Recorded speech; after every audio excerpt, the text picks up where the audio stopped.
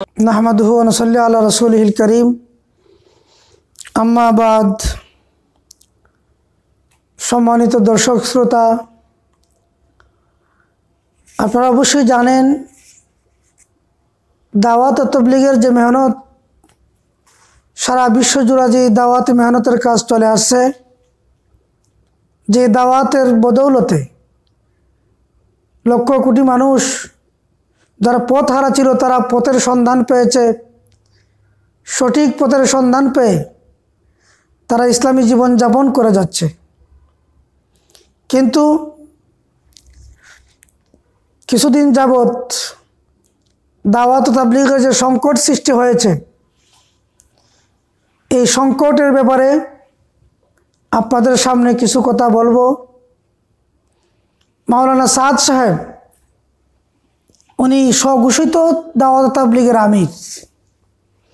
উনি নিজের ক্ষমতা বলে উনি আমির হয়েছেন। উনি এমন কিছু কাজকর্ম দাওয়াত তবলিগের মধ্যে সংযুক্ত করেছেন, যে কাজকর্মগুলো তিন হজরতজির আমলে চালু ছিল না।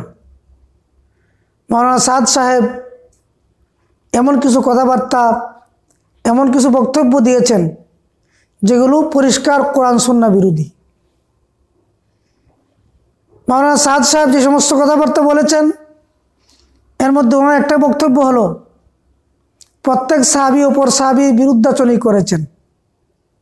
অর্থাৎ সাহাবায়কেরাম পরস্পরে হিংসা বিদ্বেষ পরায়ণ ছিলেন, এই কথা উনি পরিষ্কার বক্তব্য বলেছেন।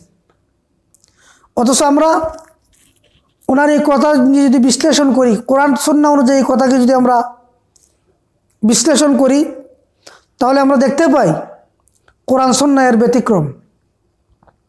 পবিত্র কোরআনের বিভিন্ন আয়তা আল্লাহ রব্বুল আলমিন সাহাবাইকরাম সম্পর্কে বলেছেন, সাহাবেরা ছিলেন পরস্পরে সহানুভূতিশীল পরস্পরে সহানুভূতিশীল ভ্রাতৃত্ব বন্ধনে তারা আবদ্ধ ছিলেন।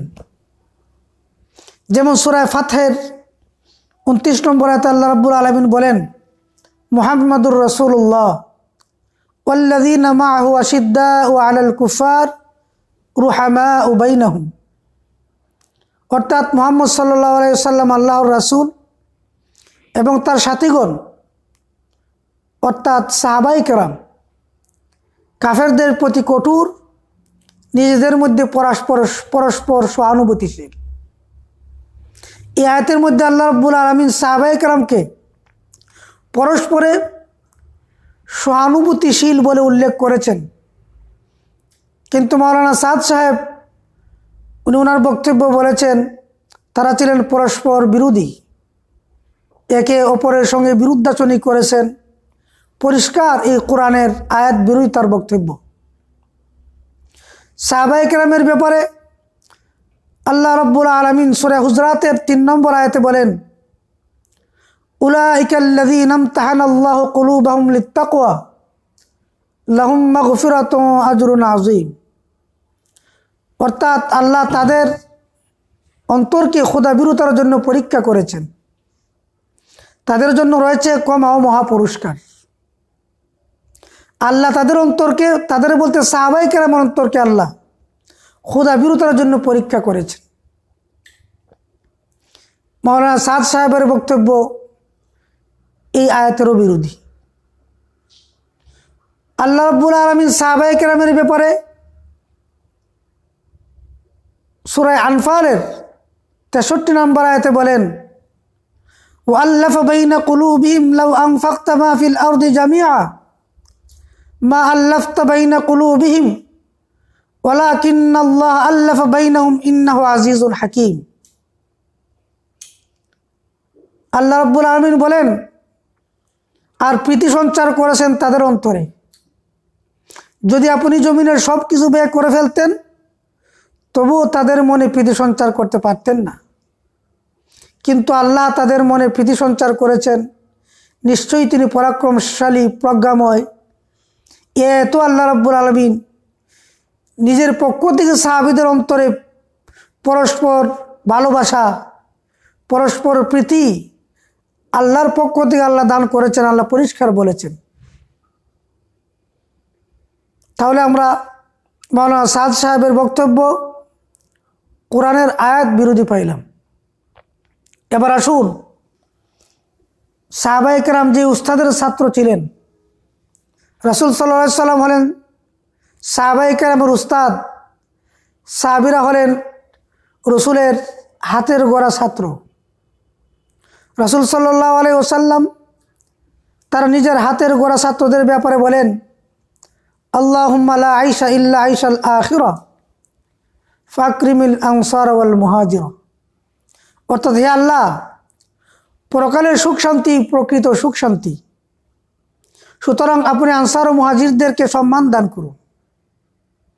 আল্লাহর হাবিব মোহাম্মদুর রসুল্লাহ সাল্লাহ আলী ওসাল্লাম সাহাবাই কেরামের সম্মানের ব্যাপারে আল্লাহর কাছে নিজে দোয়া করেছেন।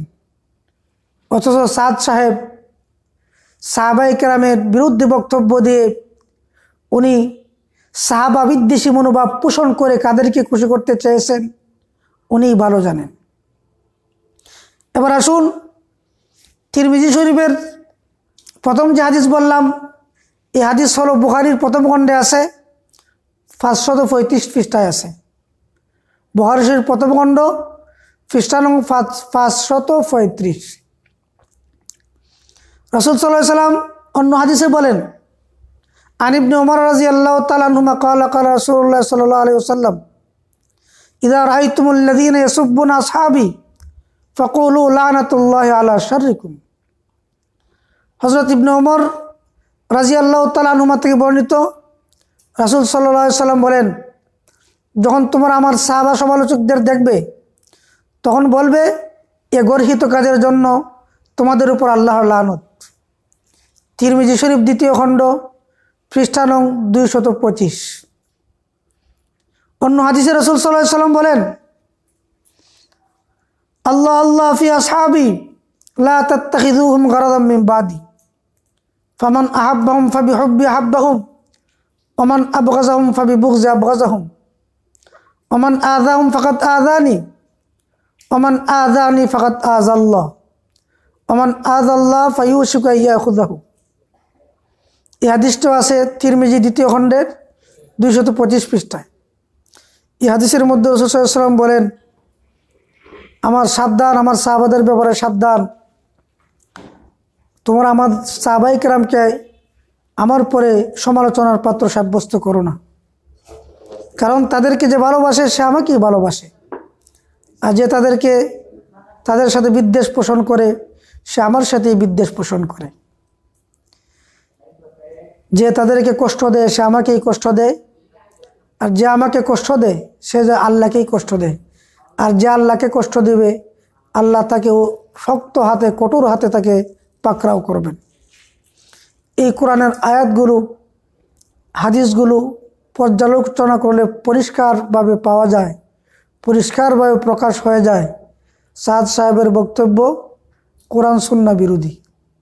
যে লোকটা কোরআন সুন্নার পরিষ্কার বিরুদ্ধাচরণ করছে, এই লোকটা তাবলিক জামাতের আমির থাকতে পারে না, তার আনুগত্য করা যেতে পারে না।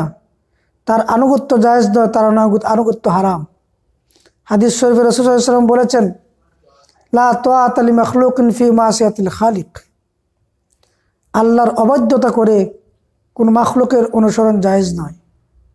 তাই যারা এতাহাতের নাম দিয়ে সাদ সাহেবের অন্ধ অনুসরণ করে যাচ্ছেন, তাদের কাছে বিরত অনুরোধ জানাব, আপনারা অন্ধ অনুসরণ ছেড়ে দিয়ে হিংসা বিদ্বেষ ছেড়ে দিয়ে একগুয়ামি ছেড়ে দিয়ে কোরআন সন্ন্যার পথে আসুন, সঠিক পথে আসুন, সবাই মিলে আবার আমরা এই দাওয়াতি কাজকে মঞ্জিলে মাকসুদ পর্যন্ত নিয়ে যাই। আল্লাহ আমাদেরকে তৌফিক দান করুন। আমিন। ও আখরু দাওয়ান আলহামদুলিল্লাহ রবিল আলম